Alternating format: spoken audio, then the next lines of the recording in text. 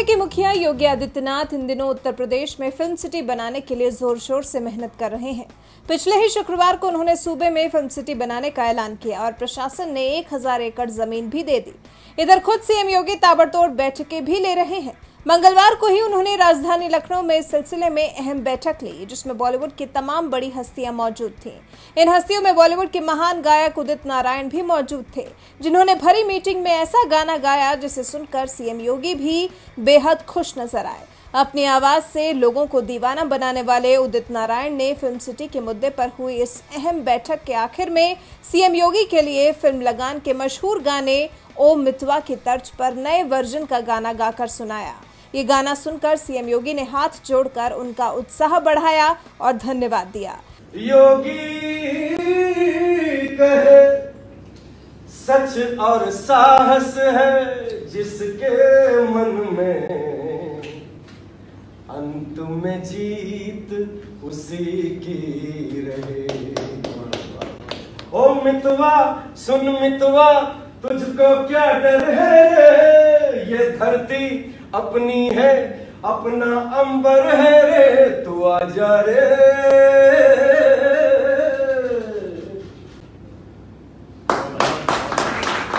इस मीटिंग में सुपरस्टार रजनीकांत की बेटी सौंदर्या रजनीकांत, निर्माता निर्देशक मधुर भंडारकर, अभिनेता प्रियदर्शन रवीना टंडन सुभाष खई अनुपम खेर, रवि किशन, परेश रावल, कैलाश खेर, अशोक पंडित अनूप जलोटा, लेखक विजेंद्र प्रसाद भी शामिल रहे। ज़्यादातर लोग वीडियो कॉन्फ्रेंसिंग के ज़रिए इस मीटिंग से जुड़े। इस दौरान सीएम योगी ने कहा कि उत्तर प्रदेश में अपूर्ण कुछ भी नहीं है।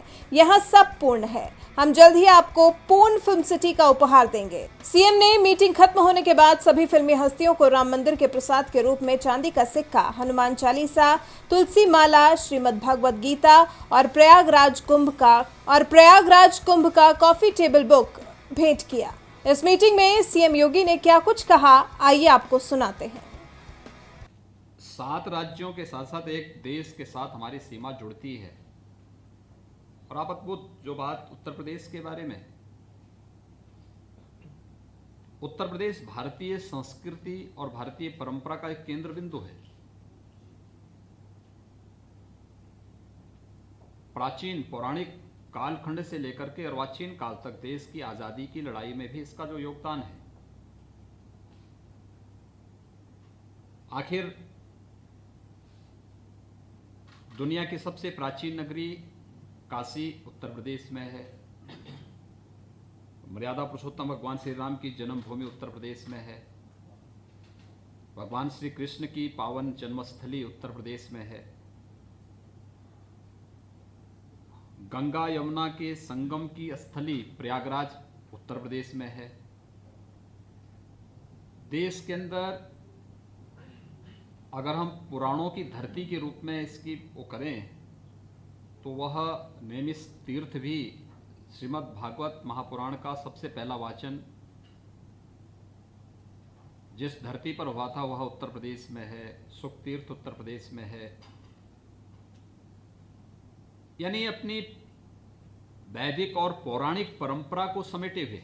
चित्रकूट को आप ले लीजिए नैमित आपका अन्य जितने भी श्रृंगवेरपुर को ले लीजिए, कौन सा ऐसी जगह है जो यहाँ पर नहीं है? हम वैदिक काल से, रामायण काल से, महाभारत काल का हस्तिनापुर भी उत्तर प्रदेश में ही है।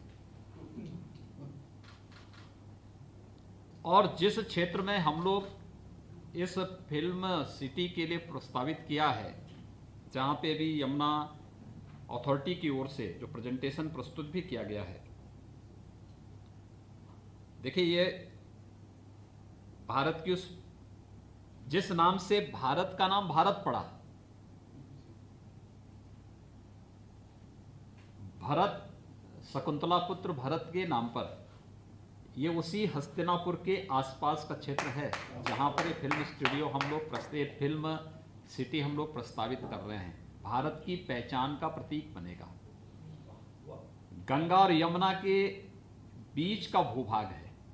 यमुना एक्सप्रेसवे, यमुना जी के पैरेलल जो हमारा एक्सप्रेसवे आ रहा है दिल्ली को आगरा से जोड़ने के लिए, उसके बीच में पूरा क्षेत्र पड़ता है। और इस पूरे क्षेत्र ने, आपने देखा होगा कितना बड़ा योगदान दिया है देश की यानी मध्य के उस कालखंड में जब इस देश पे हमले हो रहे थे, तब भी यह क्षेत्र जूझता रहा, लड़ता रहा, कार्य करता रहा और देश की आज़ादी में भी इस क्षेत्र की भूमिका उसको कोई नकार नहीं सकता है। प्रथम स्वातंत्र समर से लेकर के उसके बाद के कालखंड में अगर आप देखेंगे, बहुत बड़ा योगदान रहा है इस भूभाग का, इस धरती का।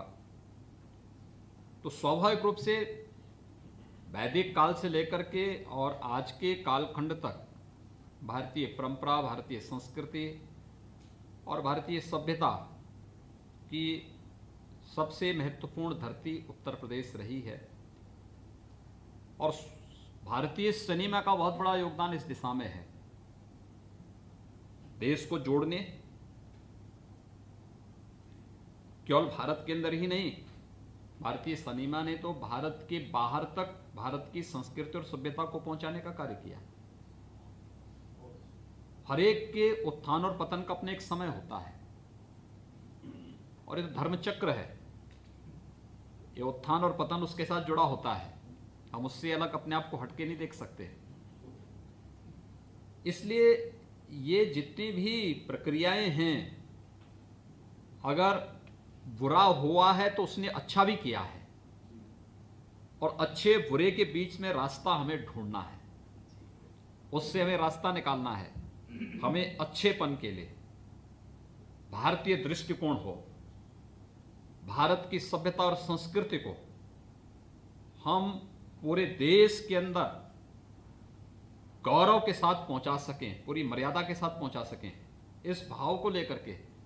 इस कार्यक्रम को आगे बढ़ाने की आवश्यकता है। और मैं मैं आपको इस बात के लिए विश्वास के साथ कह सकता हूँ कि कनेक्टिविटी के मामले में अगर आप देखेंगे तो बेहतर कनेक्टिविटी हमारा जेवर एयरपोर्ट एशिया का सबसे बड़ा एयरपोर्ट बनने जा रहा है। अभी अगले महीने से हम लोग उस पर कार्य प्रारंभ करने जा रहे हैं और 2023 से हमारा प्रयास है कि हम उसको फंक्शनल करेंगे सबसे बड़ा एशिया का एयरपोर्ट बनेगा ग्रीनफील्ड एयरपोर्ट इंटरनेशनल एयरपोर्ट के रूप में हम उसे डेवलप कर रहे हैं।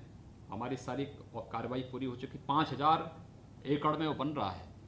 बहुत बड़ा एयरपोर्ट बन रहा है। दूसरा, उसकी कनेक्टिविटी जो हम दे रहे हैं। इस कनेक्टिविटी के साथ साथ हमने इंफ्रास्ट्रक्चर के लिए और भी कुछ किया है। हम, ये जो पूरा क्षेत्र है, यहाँ पे मेट्रो की भी, फोर लेन की कनेक्टिविटी तो अभी भी है। मेट्रो की और भी जो आधुनिक सुविधाएँ होंगी, इन सब के साथ हम उसको जोड़ने जा रहे हैं। हमने अपनी अथॉरिटी की पूरी बैठक, नोएडा, ग्रेटर नोएडा, यमुना अथॉरिटी इन सब की बैठकें भी हमने की हैं। ये केवल फ़िल्म सिटी तक ही सीमित नहीं रहेगा।